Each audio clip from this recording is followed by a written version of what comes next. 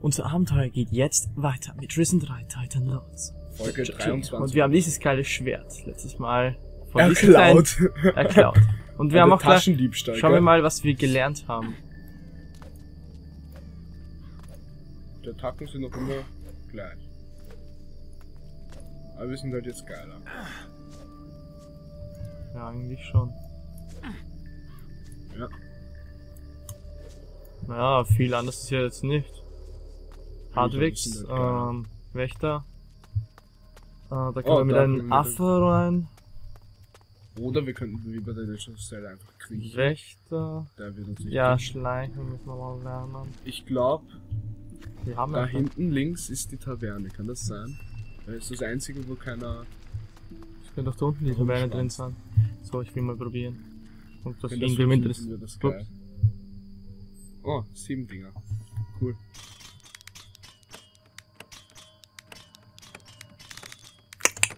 Easy, cheesy. Easy, cheesy. Gold, Jadestände. Wir haben jetzt schon so viel Jadestände. Also, Ja, das magisches Kristall so, haben jetzt ja. auch viel mehr. Das, ja, das ist die Taverne. Äh, Das hier, ist mein Freund, das hier Anstand ist hast der du wohl beste noch nie Platz was gehört, oder? Insel. Hast du was gegen die Insel? Nein, nein, nein, nein. Hier riecht es nur etwas streng, mehr nicht. Es ist schließlich mein Zuhause. Ach so, na dann. Sorry, wollte ich nicht klauen. also eigentlich schon, aber. Ja.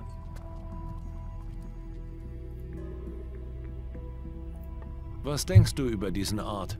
Ambitioniert, würde ich sagen. Sehr ambitioniert, was die werten Herren Magier vorhaben. Nun, die Teilerfolge geben ihnen recht, das muss man ja sagen. Bin sehr gespannt, wie das Projekt weitergeht. Klar. Ja, ja. passt schon. Wir sind nur ein riesiger Schinkenproviant. Hier, Junge, brat dir mal ein Stück Fleisch. Du siehst ja ganz verhungert aus. Ihm gibst du etwas zu essen, oder was? Du bist eh schon dick genug, Horas. Also, womit kann ich dir helfen? Willst du deine Vorräte auffrischen? Oder vielleicht ein wenig Kräfte messen? Du versorgst dem also die Leute hier. Korrekt. Aber die hungrigen Mäuler zu stopfen ist nicht immer einfach. Die Arbeit in den Minen sorgt dafür, dass die Kerle immer hungrig sind. Zum. Glück fressen die Gnome nicht so viel. Und wenn sie Hunger haben, reicht auch der Abfall. Verdammt, bitte, wer kann nicht Arm drücken? Er ist ein Pirat. Ja. Na, egal. Die Gnome kriegen Abfall von dir zu essen? Klar, und ich fühle mich nicht schlecht dabei. Die scheren sich nicht wie die Herren Magier drum, ob die Wurst im Dreck lag. Hauptsache, sie ist fettig und gibt ordentlich Speck auf die Rippen. Außerdem muss ich mit dem, was Rumold uns zukommen lässt, haushalten. Okay. Zuerst Also- funktioniert Amt. Ja, das war einfach, weil wir hatten 50. Eidstein, was ist das? Keine Ahnung, schau mal. nach. Wie funktioniert Armdrücken?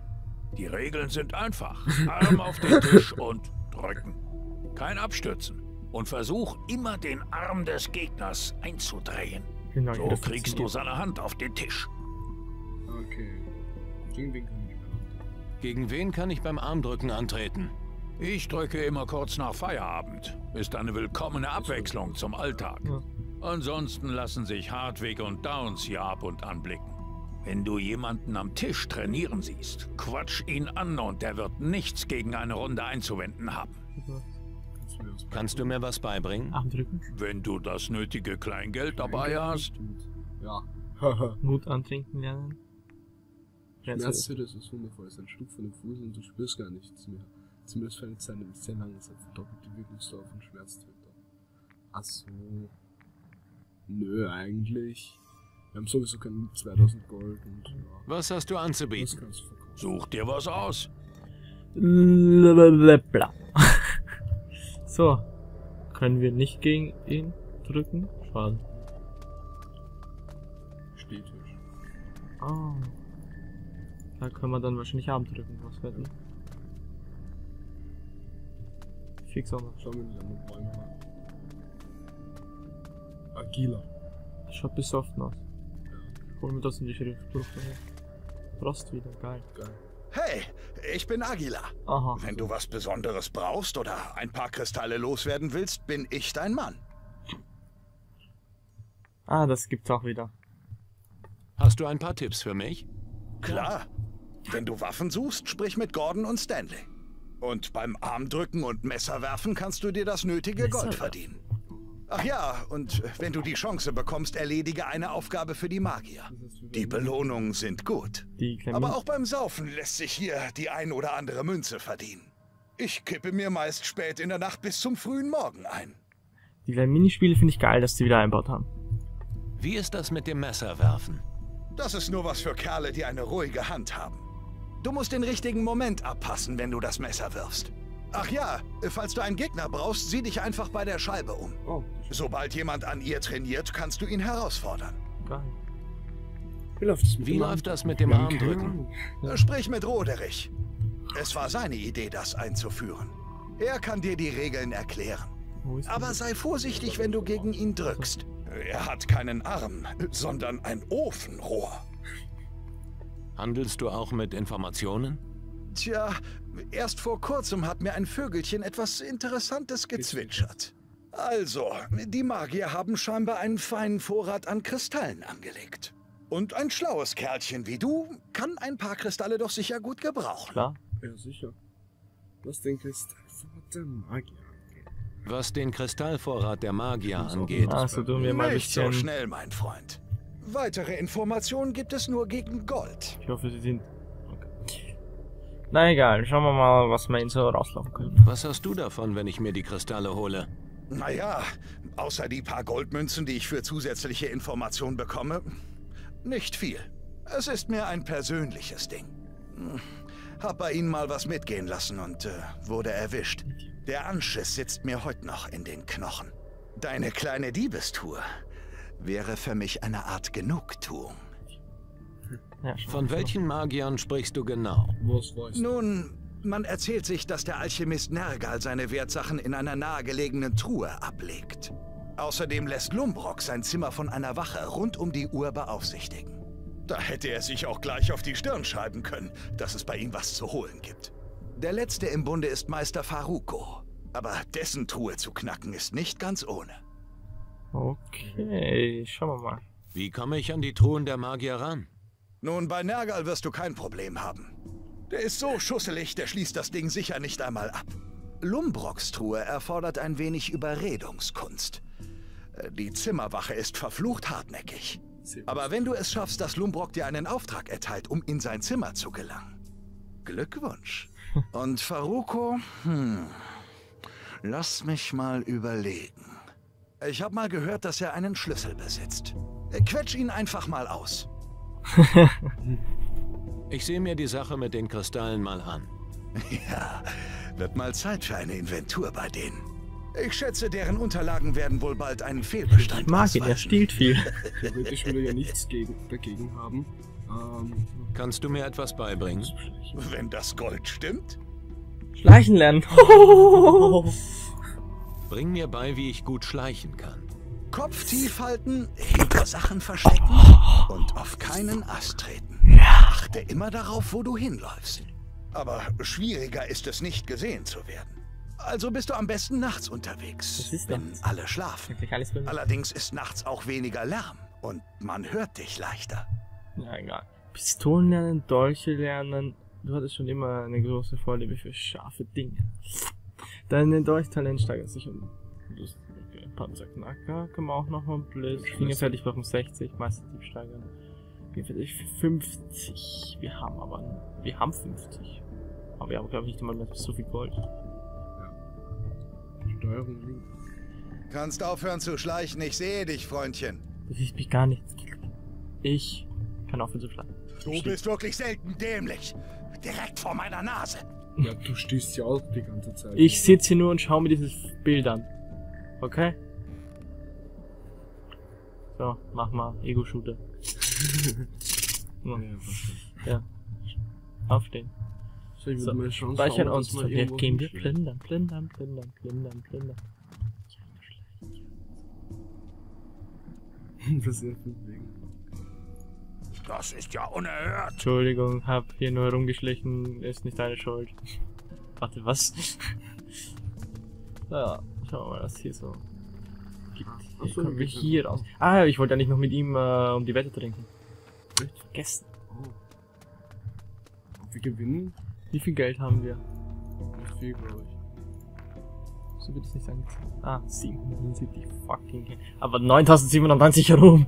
Also ich schätze mal, äh, Magie wird gesteigert, Nahkampf wird gesteigert, Fingerfertigkeit, Wird gesteigert. List. Mann. Einfluss.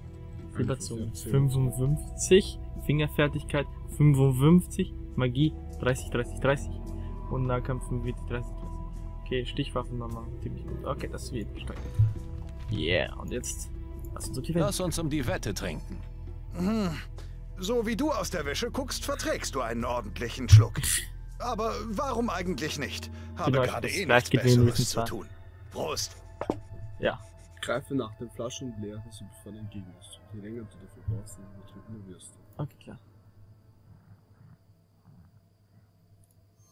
Alles klar, los geht's. Verdammt! Scheiße! So, verdammt! So einfach. Aber Hast wohl großen Durst gehabt, was? Alle Achtung. Die Rechnung geht auf mich und obendrauf ein bisschen Gold für dich. Feiere deinen Sieg. Ich bezahle die Buddeln bei Roderich. Mehr kann ich leider nicht tun. Der Typ ist nett. Dankeschön.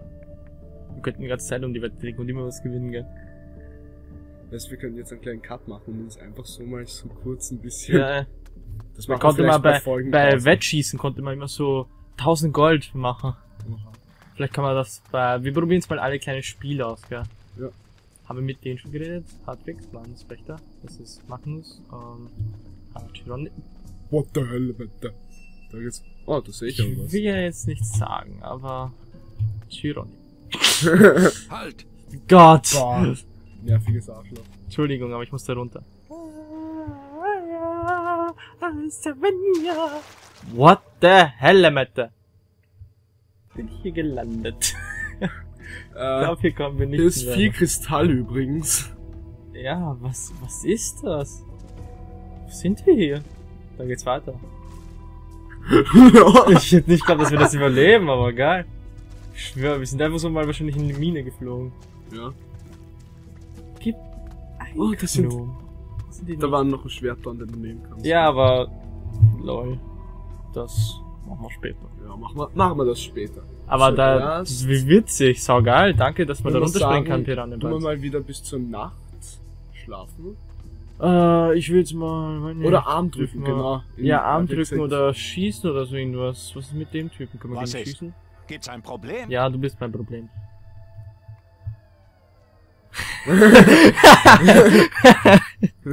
Nein, wieso sollte es ein Problem geben? Weil jeder, der mich vollquatscht, mit einem Sack voller Probleme ankommt. Und ich löse Probleme. Wer die Magie bändigen kann, kennt keine Feinde mehr. Genau. Oh. Du scheinst dir deiner Sache ziemlich sicher zu sein.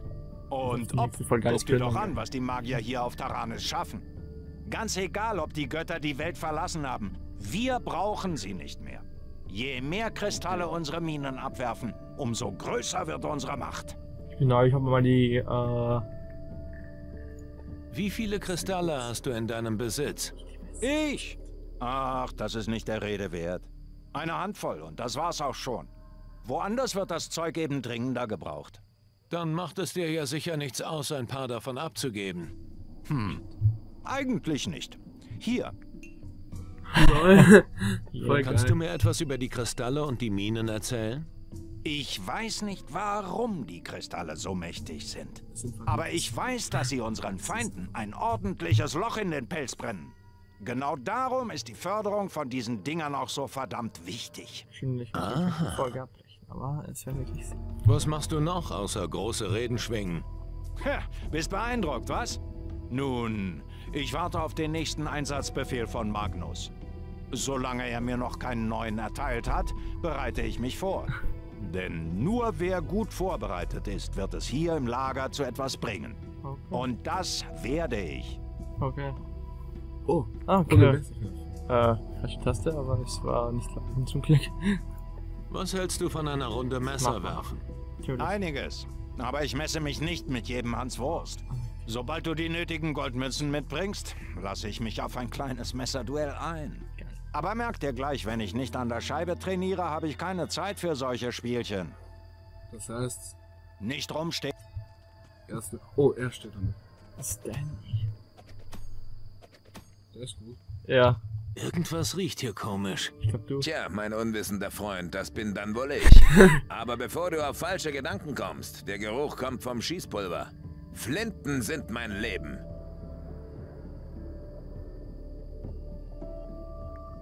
Flinten klingt nicht schlecht. Flinten? Klingt nicht schlecht. Na, endlich mal einer, der mir beipflichtet. Die meisten der Jungs hier verlassen sich nur noch auf ihren Kristallhandschuh. Ich sag immer, was ist besser als ein Magier? Ein Magier mit Flinte natürlich. Wie stehst du zu den Magiern? Offiziell sind sie natürlich die mit dem großen Plan. Hui, hui, hui. Bauen da so ein Ding, das angeblich die Menschheit vor den Titanen retten wird. Aber mir ist nur wichtig, dass ich bezahlt werde. Wer das macht und wofür ich meinen Arsch hinhalte, ist mir egal. Na dann. Welche Aufgabe hast du unter den Wächtern? Ich bin für die Wartung und Instandsetzung der Schusswaffen zuständig. Haben zwar nicht wirklich viele, aber ich bin der Einzige, der was davon versteht.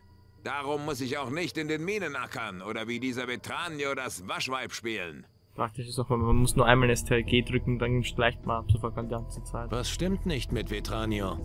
Ach, das ist einfach ein Versager wie fast jeder Neue. Dachte wohl, dass wenn er ein paar Funken zaubern kann, er der dickste Hecht im Lager wird. Aber so läuft's nicht im Leben. Wer nix kann, ist auch nix wert.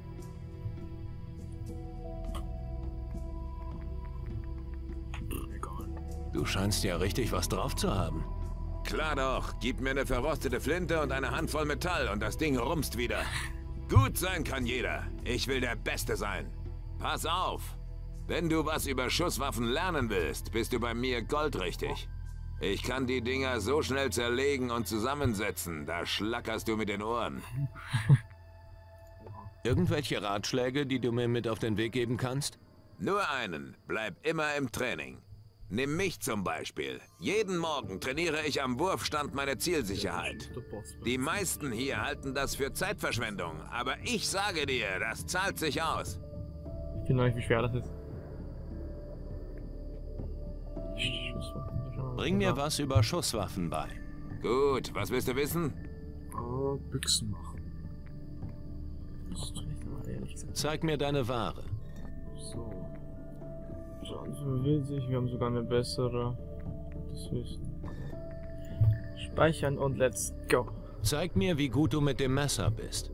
Gut, aber mach dir keine allzu großen Hoffnungen, dass du gewinnst. Ich treffe eine Fliege auf 100 Meter mit dem Teil. Ja, ja, lass uns endlich anfangen. Los geht's! Ist nicht schwer. Was fandst du? Muss man in die Mitte treffen oder? Erzielen mehr Punkte. Okay, das heißt, Also- wir müssen das hier treffen und das mit 6 müssen.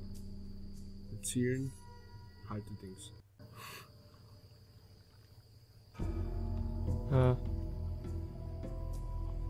Du musst das da, das da. das ist. 6. Und loslassen, oder? Ah, nix.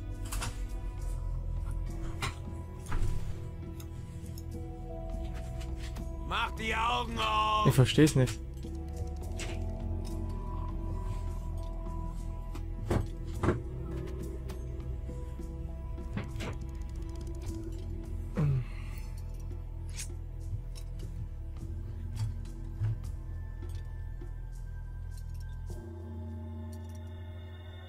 Er schießt immer irgendwo. Ah, okay. Jetzt verstehe ich's schon. Das hat's hoch. Du musst innerhalb der drei Dings bleiben. Ja, also ich verstehe es nicht ganz, okay? okay. Weil er ist relativ gut. Klar. Fangen sowieso noch, ich würde sagen, wir fangen sowieso noch mal neu an. Ja. So kann ich jetzt eh nicht.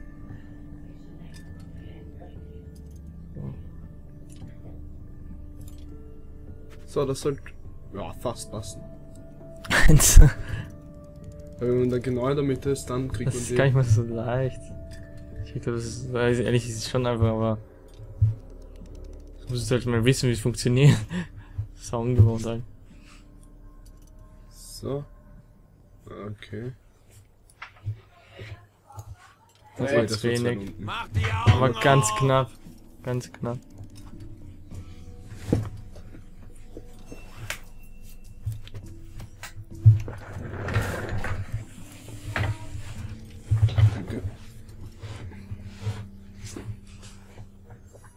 Ich will einmal wenigstens das- das treffen.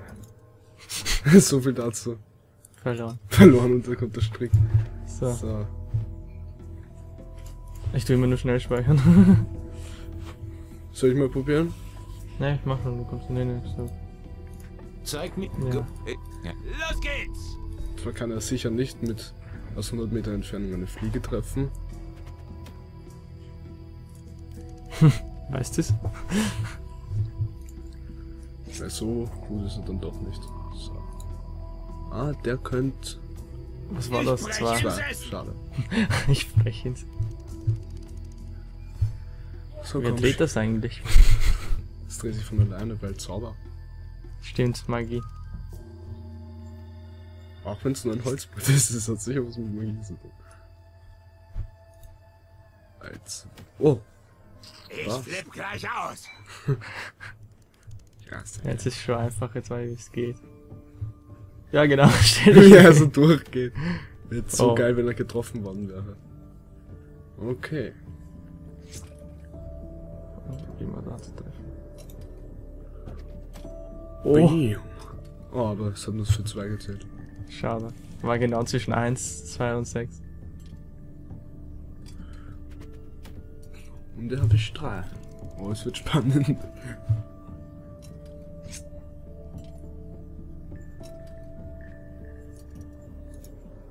Ah, das könnte was sein, ja. Ja. Das kann doch nicht wahr sein. So, jetzt müsste nur noch einen Wurf so versauen, so auf ein Eins oder so. Komm schon. Irgendwas soll er da erwischen. Ha. Passt. 13, 13. Du hast einen Wurf mehr. So, jetzt probieren wir wieder die 6. Ah, Hm. ja. Gewonnen trotzdem. 15, 13. Sowieso. Ach, du hast doch nur Glück gehabt. Ja, ja. Sag mir lieber, was du für die Leistung springen lässt. Ich kann mich nicht erinnern, dass wir um irgendwas gewettet haben. Aber ich bin mal nicht so. Hier, hab eh genug davon. 50 gut. Okay, okay. Ist ganz okay. So. Nicht rumstehen. Ja. Aha, der tut nur Gewicht eben. Okay, dann ja. Gehen wir nochmal darauf. Nee. Okay. Es muss einen anderen Weg geben. Er muss nicht sterben.